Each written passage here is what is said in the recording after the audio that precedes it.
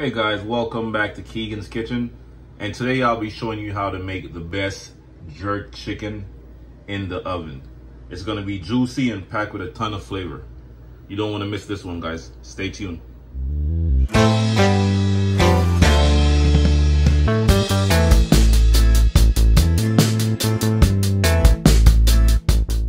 Okay guys, so I'm just gonna poke some holes. This way the seasoning will be able to soak more evenly through the chicken.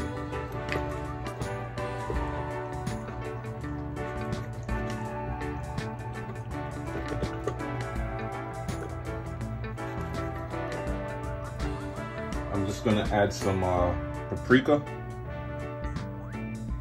A little bit of cayenne pepper.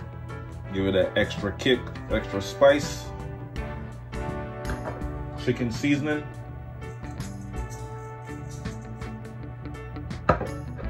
Some all-purpose. A little bit of jerk dry rub. Jerk dry seasoning.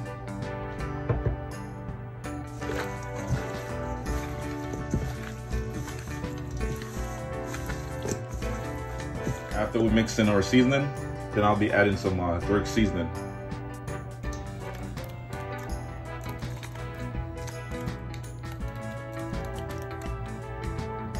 Not too much.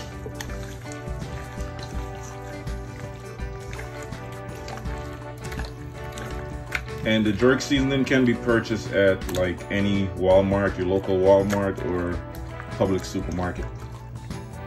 You also want to marinate your chicken for at least two hours or overnight for best results.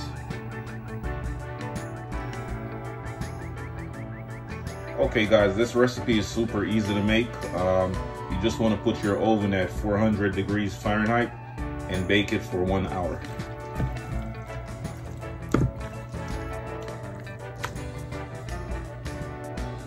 Okay, so I'll be baking my uh, chicken on a sheet pan.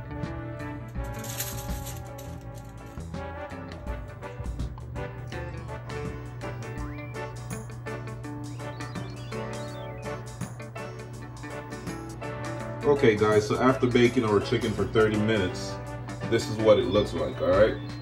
I'm just gonna pour all of that juice off into a separate uh, bowl, small mixing bowl. After we pour it off, we're just gonna flip our chicken over and then place it back inside the oven for another 30 minutes. And then we'll start working on making our jerk sauce, all right?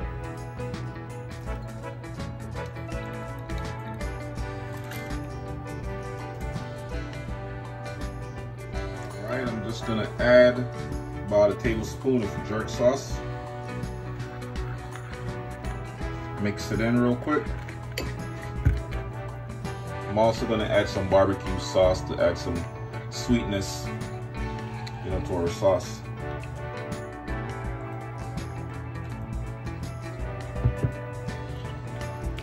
Mix it up some more.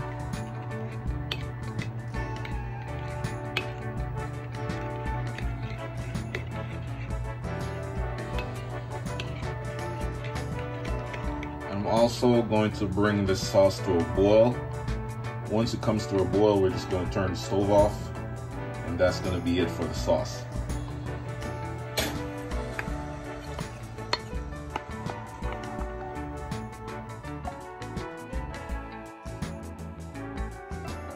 Okay guys, so my chicken have been baking for about uh, a good 45 minutes.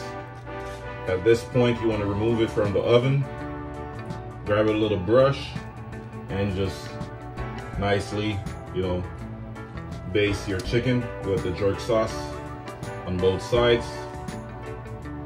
You know, you're gonna flip it over after you brush the first side.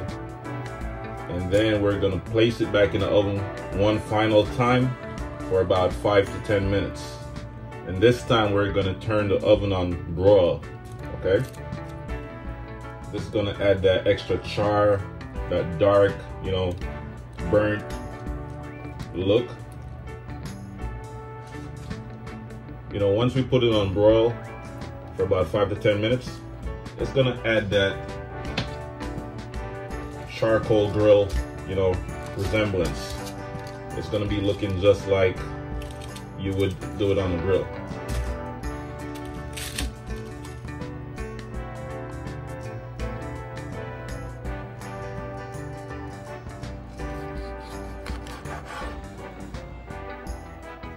At this guys. It's packed with a bunch of flavor. Like I said, this is a super easy recipe to make. Um, you can't go wrong. Just follow the instructions and you should be good to go.